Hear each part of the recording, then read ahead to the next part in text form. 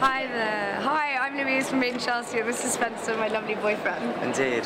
Uh, we're supposed to be talking to you about confidence, something along those lines. She's the confident one. That's absolutely not true. Spencer knows he's really good. I, th- I think I think that you know.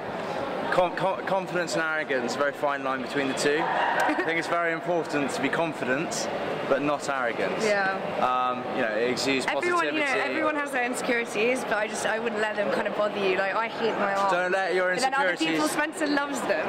I love so her arms. I think whatever body shape you have, like you should just respect yourself and be happy and positive about life. Don't let your insecurities get you down, is what she's saying.